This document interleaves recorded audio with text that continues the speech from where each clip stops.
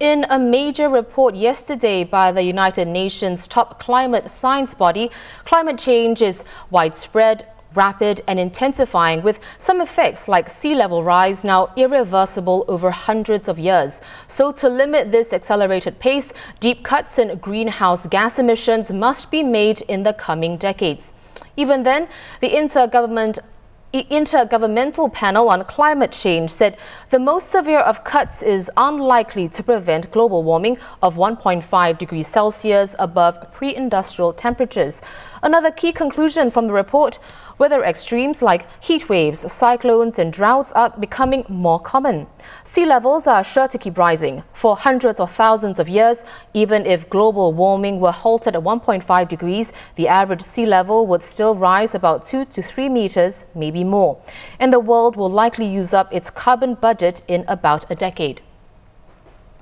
While the harshest impacts of climate change have been elsewhere so far, the report indicates that Singapore must brace itself for tougher times ahead. ST's climate change editor tells us what it means for our little island in the immediate and midterm.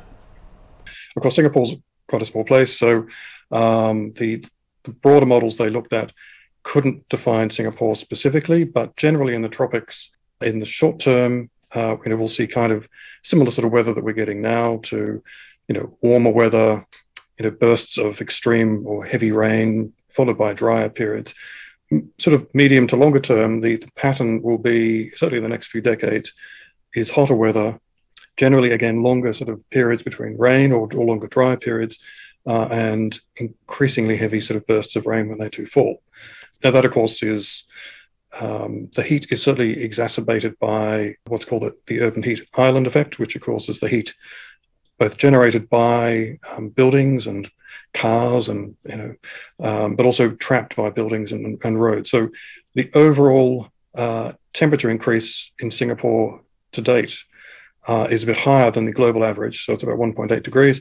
And part of that is due to uh, heat being trapped by buildings and generated by buildings industry and transport. So Singapore is already thinking deeply about you know, tackling heat, uh, increasing heat in the future. So it wants buildings to be a lot more efficient in the energy that they use, but also the energy or heat that they you know, they generate. So air conditioning units for a big source of heat.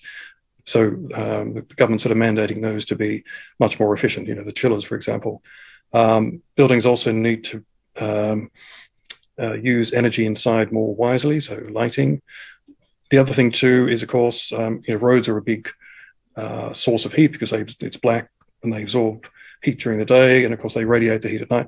So one way is to increase shading for paths and along roads. So the government, of course, has, has a large tree planting campaign.